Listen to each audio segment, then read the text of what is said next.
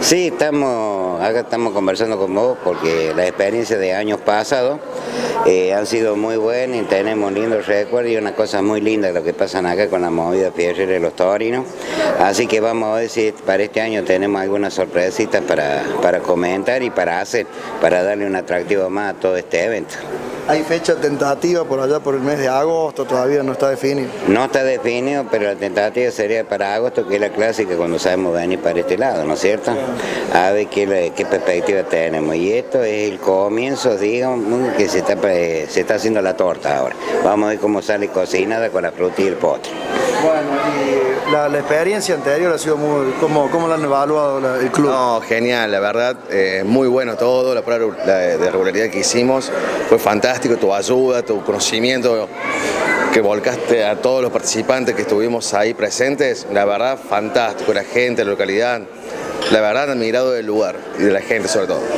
Bueno, y preparando los autos. Sí, así que así están dándole los últimos toques técnicos, digamos, a los autos para, bueno, para poder correr por esa famosa prueba de regularidad que vamos a hacer. Bueno, y preparándose para también un gran evento, ¿no? Sí, la verdad que es muy gran evento, muy lindo, así que bueno, estamos ahí a full afinando los, últimos detalles. O sea que nos falta poco, nos falta nada. Ya, casi no nos falta nada. No, no, no. Bueno, y, es probable que eh, bueno, este otro club también participan. Sí, vamos a hacer, vamos a hacer la convocatoria también para el club del Falcon con el señor que es el presidente Marcelo Ordóñez que es una persona muy corta, digamos, muy familiar también y gusta mucho de estos eventos, sobre todo con la prolijidad que hace las cosas vos. Bueno, ¿se lo, de, lo del moñito, lo del Chevrolet?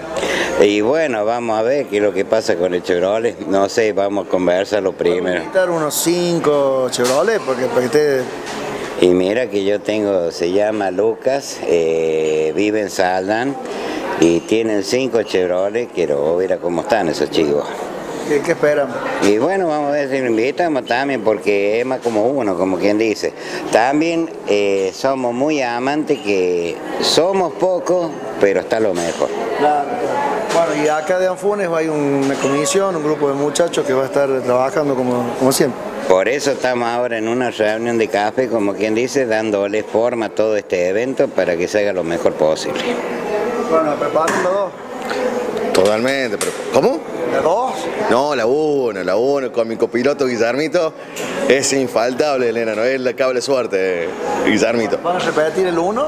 Y vamos todo lo posible, estamos trabajando en eso. Ah,